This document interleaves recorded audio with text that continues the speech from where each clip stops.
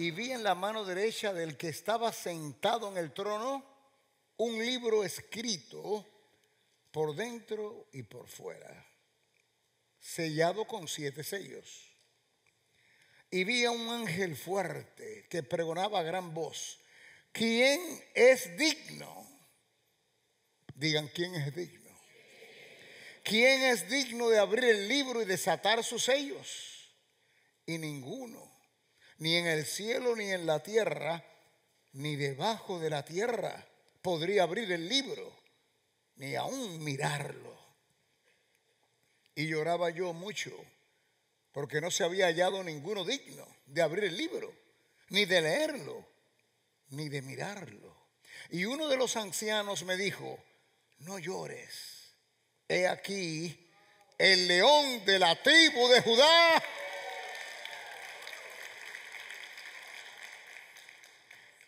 He aquí que el león de la tribu de Judá la raíz de David, ha vencido para abrir el libro y desatar sus siete sellos. Aplausos aquí. Es digno. El león de la tribu de Judá. Esto es poderosísimo. Hay muchos ángulos para hablar de esto. Pero de acuerdo a este versículo, Dice que el que es digno es el león de la tribu de Judá que ha vencido. Quiere decir que él puede abrir el libro porque él ha vencido. El león de la tribu de Judá ha vencido. Y hay prueba. La tumba está vacía. Oh. Jesús es el león de la tribu de Judá. Jesús, el Cristo, Dios hecho carne, varón perfecto, nunca pecó, Él es digno en todos los sentidos. Él ha vencido la muerte, ha vencido el pecado, ha vencido la tentación.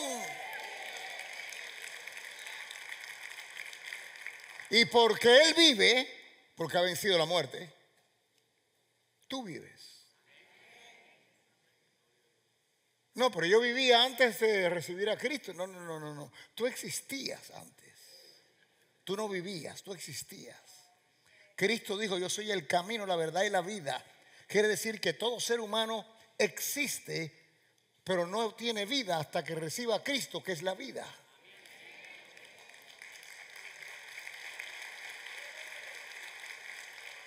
Él es la vida eterna, porque es una vida para siempre. Él es la vida. Y tú vives porque Él vive. Y tú ruges porque Él ruge. Él es el león de la tribu de Judá y si ese león está en ti, tú se supone que también puedas ruir.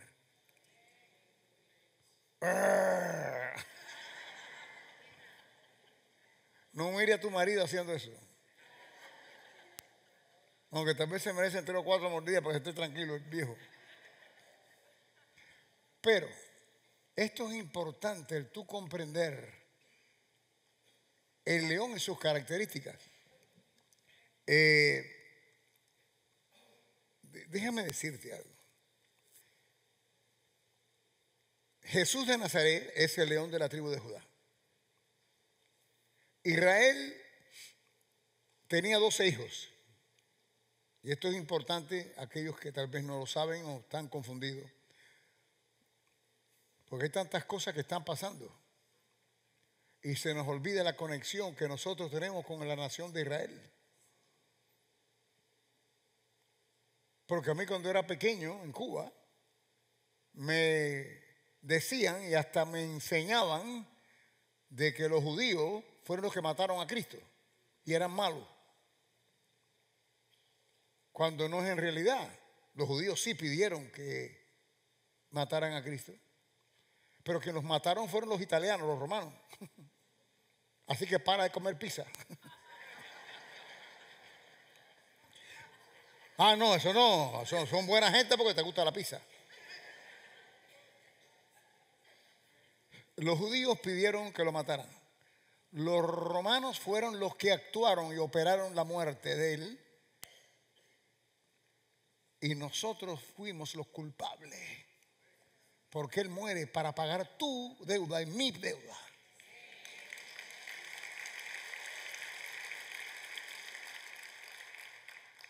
Así que dejen a los judíos tranquilos y denle gracias a Dios por los judíos, que gracias a ellos el verdadero Dios fue presentado e introducido a la tierra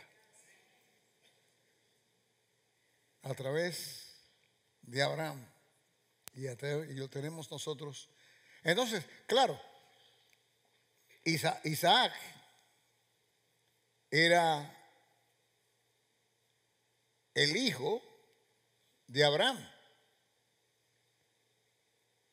Y Jacob era el hijo de Isaac. Dios le cambió el nombre a Jacob y le puso Israel. Pero acuérdense que las promesas de Abraham bajan porque era para él y sus generaciones. Las promesas que Dios le hizo a Abraham no se finalizaron cuando él muere. Continúa en sus generaciones. Eso tocó a Isaac y tocó a Jacob.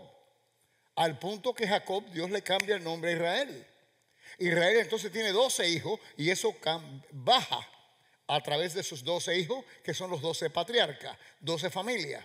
Pero familias de miles de gente que se desarrollaron, cada, cada familia, cada tribu. Uno de ellos se llamaba Judá. Judá era la tribu más numerosa y de los guerreros mayores que tenía Israel. Cada vez que había que salir al, desierto a batallar, Judá y su tribu iba primero. Eran los guerreros, los fuertes, los numerosos. Después seguían las otras tribus. En esa familia o tribu de Judá es donde sale David, el rey David. Por eso dice aquí, y uno de los ancianos me dijo, no llores, he aquí que el león de la tribu de Judá, la raíz de David, tiene la sangre, porque salió de la misma gente de David, la misma familia. Entonces, Cristo sale de la tribu de Judá. El hablar mal de los judíos es hablar mal de tu Mesías.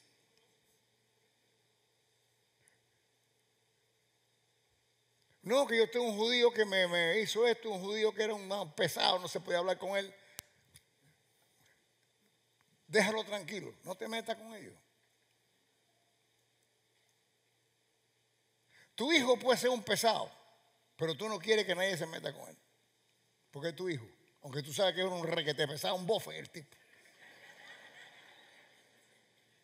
Pero es tu hijo.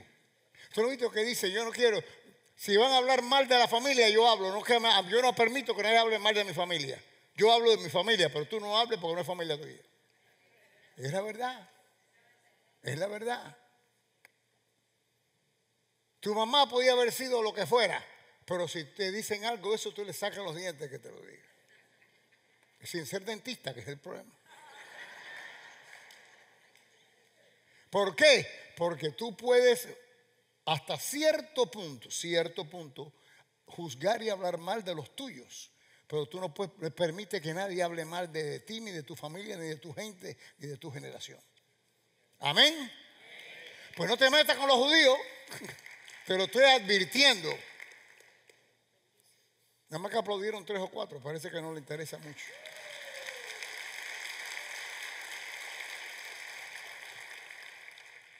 Entonces Cristo sale de la tribu de Judá. Bendito Dios. La tribu de Judá, tribu de guerreros. De las entrañas de la tribu de Judá, sale el león de Judá, que es Cristo mismo. Cristo representa esa tribu de guerrero, tribu que vencía, tribu que poseía,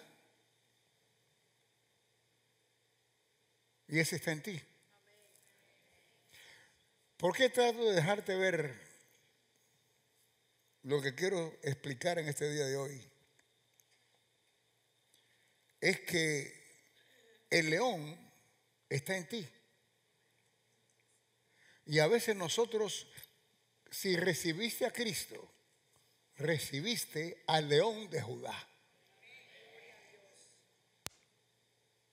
El león, déjame decirte, el león en todos los aspectos tiene una connotación de él saber quién es él y hasta de que, y viendo lo natural, a lo natural, él creerse más de lo que es. Al león le llaman el rey de la selva.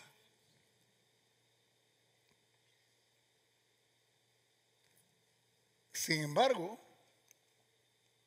el león no se enfrenta fácil a un elefante. Si el elefante va para arriba de él, el león corre. Un rinoceronte que parece que está, eh, todo lleno de hierro por todos lados. El rinoceronte. Tiro un ojo para allá, otro para acá. ¿Cuál es el otro que estaba pensando? Oh, en, lo que, en el agua, ¿cómo se llaman estos? Los hipopótamos que tienen una boca que te tragan a ti y a tu hijo y a todo el mundo. El león no es tan feroz ni tan grande como estos, pero no importa. El león se cree que él es, aunque no lo sea. Le tiene miedo al león porque el león entra creyéndose que es el rey de la selva, aunque no lo sea, es. Porque esa es una de sus características. El ruge. Y, de, todo, y todo lo que está alrededor se atemoriza. Porque él se cree que él es lo que él es, aunque no lo sea. Aunque hay algunos, porque cuando él es, cuando él corre de esos animales enormes que él no puede vencer, no es porque le tiene miedo, es que tiene una estrategia. Y cuando esos animales se viran, él y su compañía lo atacan. Así que no se, ellos no se van porque le cogen miedo al elefante ni al... No, no, no, no. Son estrategias porque él sabe que él es, en sí él es el rey. ¿Sabes tú que eres rey también? No, pero yo no soy Cristo. No, pero Cristo vive en ti. Si es que lo recibiste. Si no lo recibiste, no estoy hablando contigo.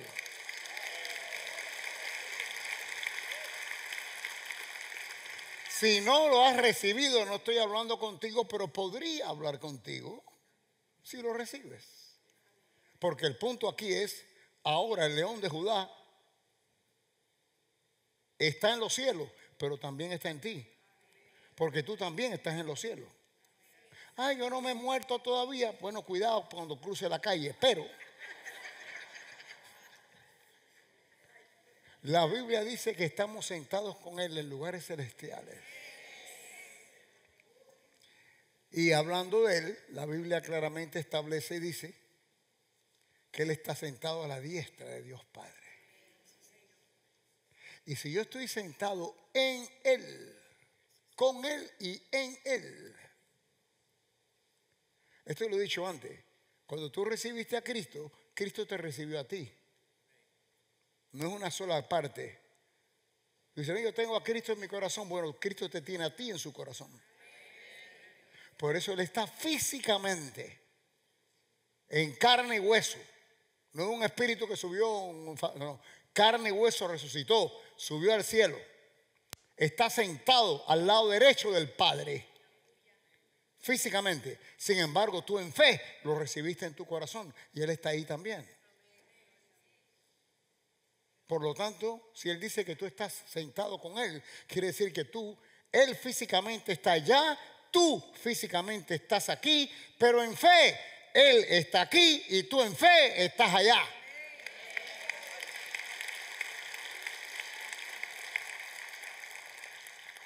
Aplauden para desconfundirse, está bien. Entonces, quiero que comprendas que ese del que estamos hablando, que está aquí, allá y aquí, ese es el león de Judá. El que no le tiene miedo a nada. El vencedor. El que gana. Y cuando no gana, hay una estrategia para ganar. Ay, Dios mío.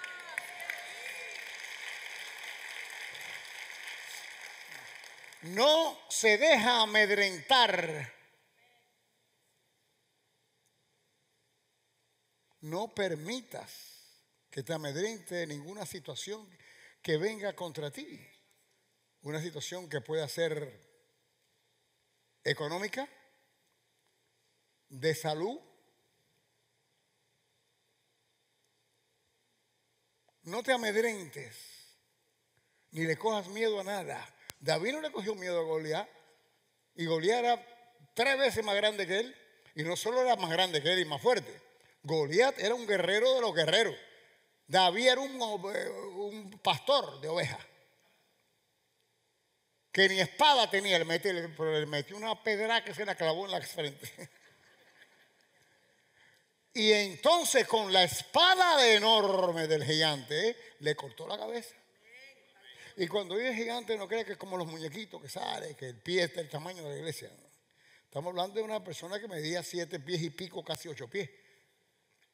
Que ahora viendo el juego de basquetbol, hay unos tipos que, por favor, tocan la luna con la, con la frente.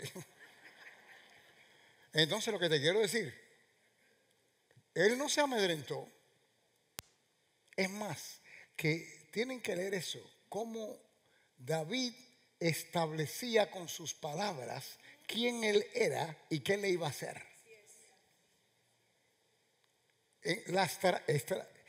Las estrategias que David tenía, Dios se las estaba dando y él las soltaba. Porque ya lo que dijimos al principio, mi esposa y yo, las palabras al principio no eran para comunicación, eran para creación. Y cuando David decía, yo te cortaré la cabeza, esto, esto y lo otro, estaba estableciendo, creando un ambiente basado en glorificar a Dios Todopoderoso. Así que no era un ambiente simplemente para él lucirse bien, era un ambiente porque él decía, tú estás desafiando los ejércitos del Dios de la gloria.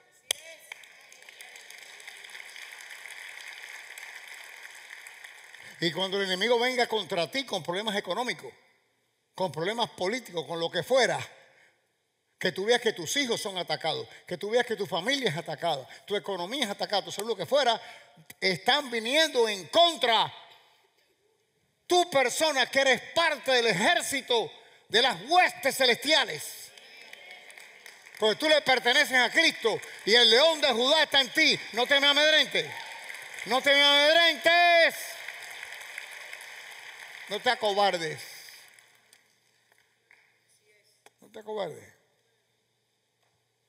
El enemigo, le gusta imitar a Dios porque no sabe qué hacer. Y lo imita. Pero mira, primero de Juan, primero de Juan 4.4, ponme ahí primero de Juan 4.4. ¿Qué es lo que dice?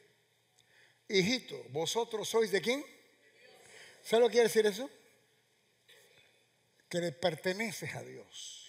No leas esto como soy, no, no, no vosotros sois de Dios. Otra traducción dice, tú le perteneces a Dios y se acabó raspado, te está diciendo eso. Así que para empezar, tú tienes que absorber esto en ti. Yo le pertenezco a Dios. Quiere decir que tú eres en realidad propiedad de Dios. Y Dios te cubre y te protege porque tú le perteneces a Él. Tienen que buscar revelación de la palabra no solo la lean. ¿Qué quiere decir esto? ¿Qué quiere decir lo otro? Hijitos, vosotros sois de Dios y los habéis vencido. ¿A quién ha vencido? A Satanás y sus demonios. ¿Y qué es lo que hace Satanás y sus demonios? Traer situaciones adversas que se desarrollan en cosas naturales en contra tuya.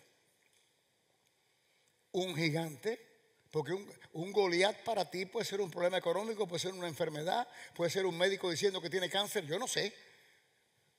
Es un gigante que parece imposible. ¿eh? Se ha presentado algo en tu vida que parece imposible que tú le ganes, pero ya lo has vencido. Antes de pelear lo has vencido porque le perteneces a Dios. El león de Judá está en ti. Ay, Dios mío.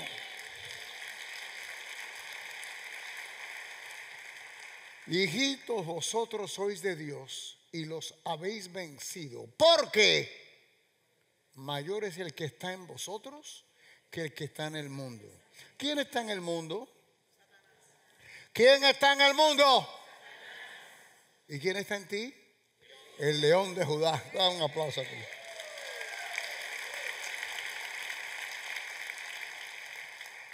Tremendo, tremendo.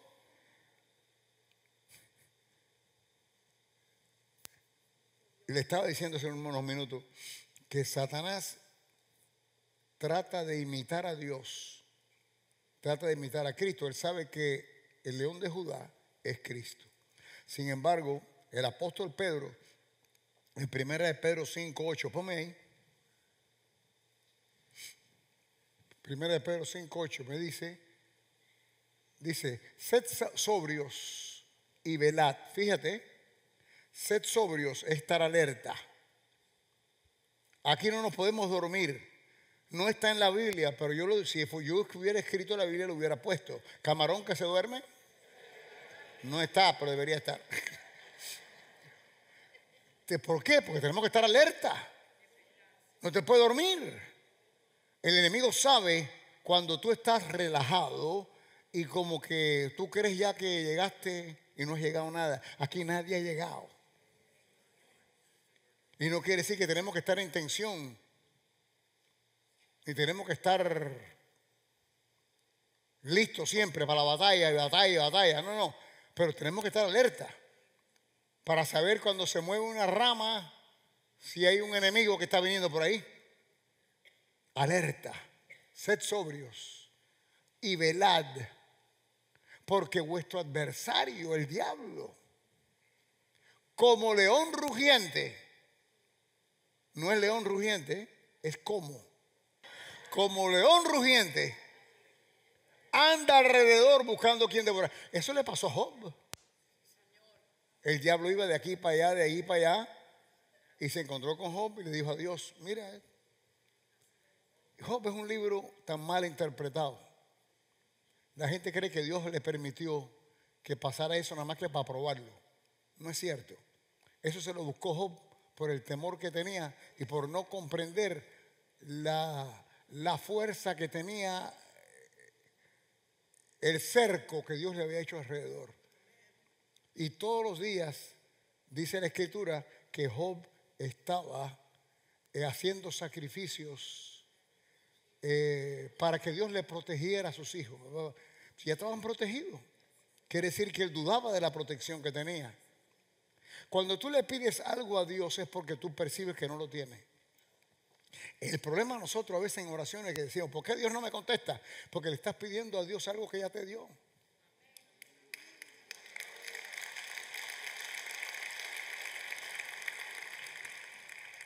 Entonces se sabe que la fe es la que activa lo que Dios te ha dado.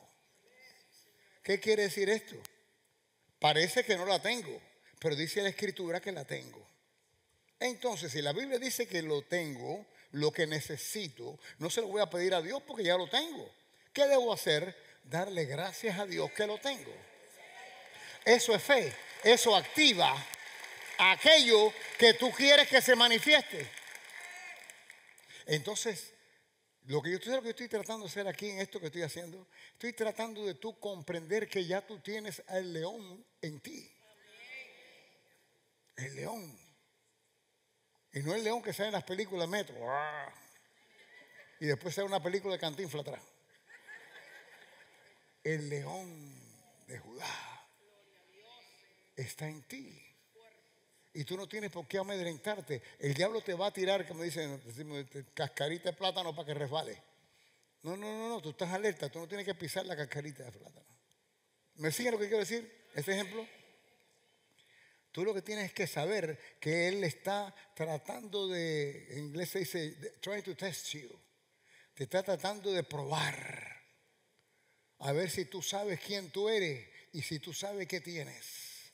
Porque cuando Él se dé cuenta que tú no sabes quién tú eres, ni sabes lo que tienes, tú eres, eres presa fácil.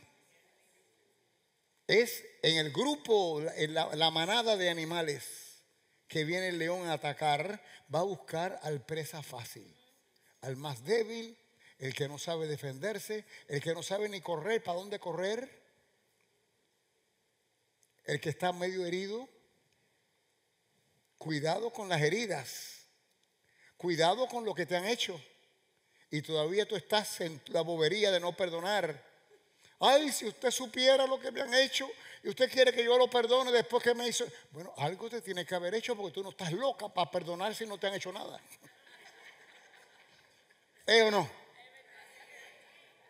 Algo te tienen que haber hecho para tú tener que perdonar. Pero como tú no has perdonado, esa herida se queda y tú eres una de estas presas fáciles que están sangrando y van lento y no pueden escapar porque tu propia herida, no que te han hecho, que tú has permitido que se mantenga, es la que te ha debilitado. Lo que te han hecho no te ha debilitado, Dios te sana, pero tú no has permitido que te sane completamente. Por tú no perdonar se queda fresca esa herida. Entonces, el diablo viene a probarte y a chequearte. Entonces tenemos que comprender que tenemos que aprender la palabra de Dios, pero buscar revelación de qué realmente es la profundidad de lo que la palabra me dice para mí. ¿Cuál es mi posición? Cuando el enemigo viene, ¿qué postura tengo yo que tener?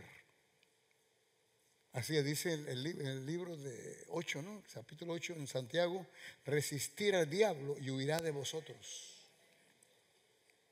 Resistir, eso es poner fuerza en contra, una resistencia. El enemigo viene, tú le pones fuerza en contra, con la autoridad que tú tienes en el nombre de Jesús. Y le declaras, le dice, diablo mentiroso, ¿qué tú haces aquí? tú no eres león, el león está en mí, fuera. Y le ruges y le dejas saber quién tú eres en Cristo Jesús.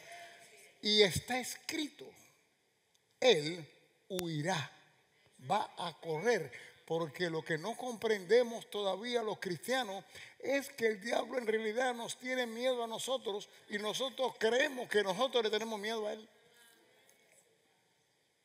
Ustedes como yo he oído gente decir, ven esto, pero no quiero que el diablo se entere.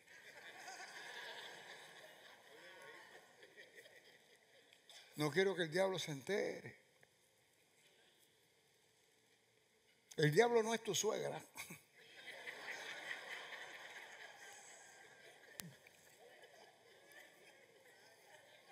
Déjalo que se entere para que sepa que tú no le tienes miedo. no le temas. Tú eres, esa es la voz de Guillermina por ahí. ¿Me pareció? Me pareció que era.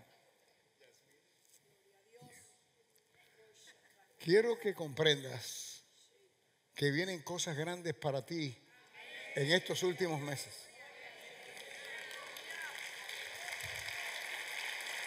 Sí.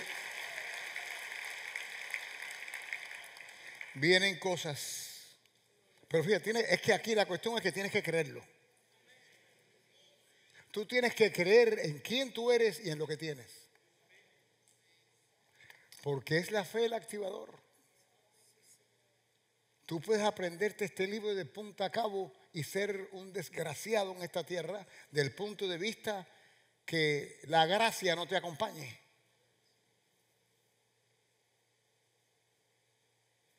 Simplemente porque en realidad tú no crees que tú eres. Sobre todo si vienes de niveles muy religiosos.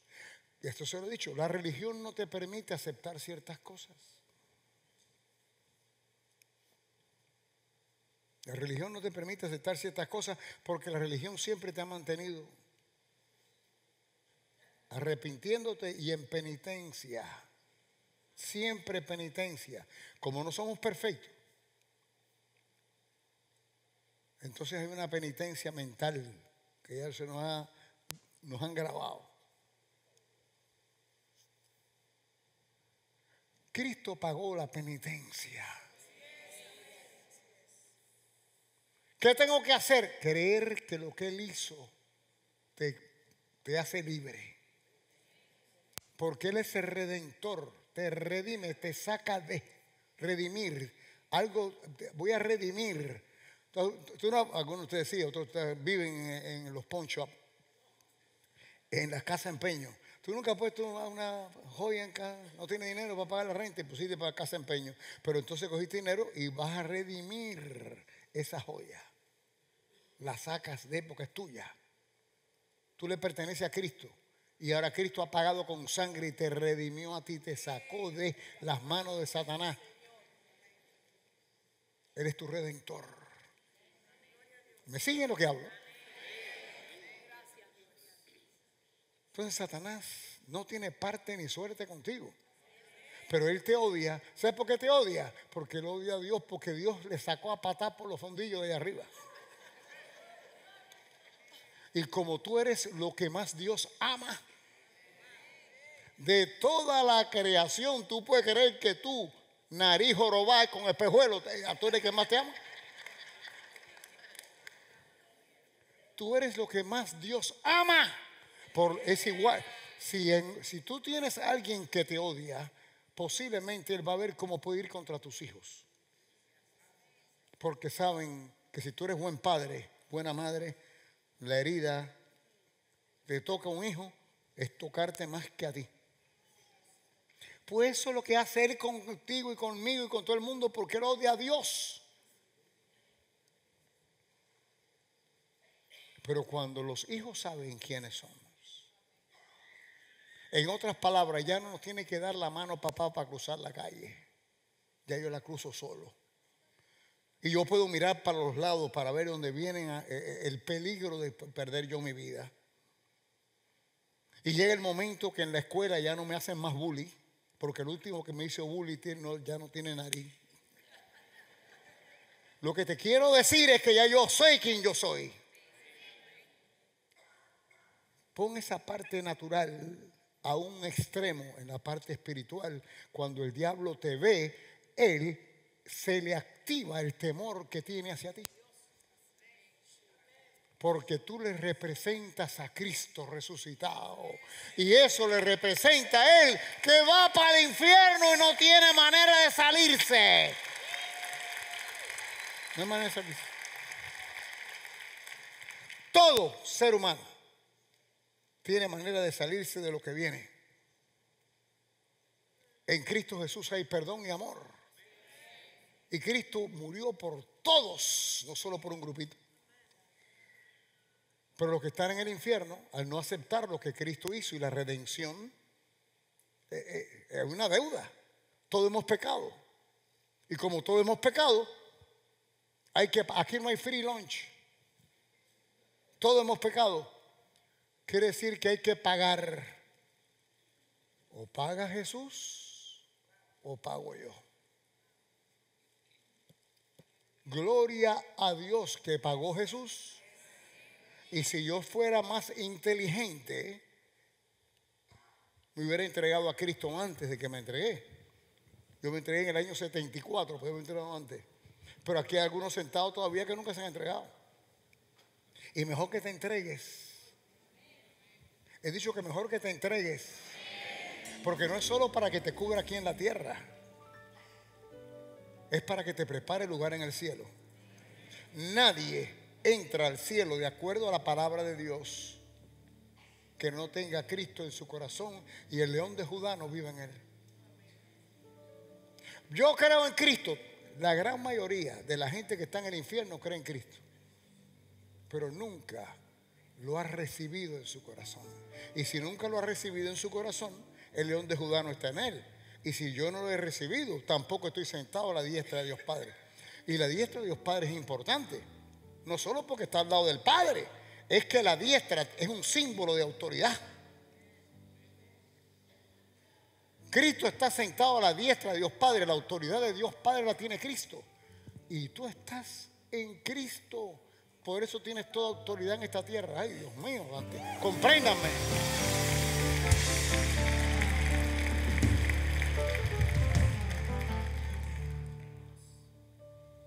Digan, Satanás, me tienes miedo.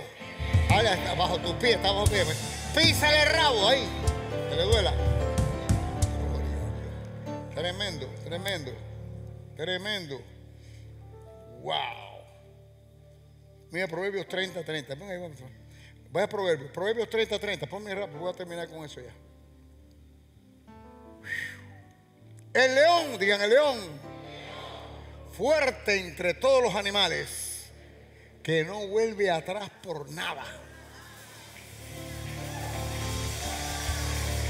Ese eres tú, ese eres tú, ponte de pie, ese eres tú, ese eres tú, ese eres tú.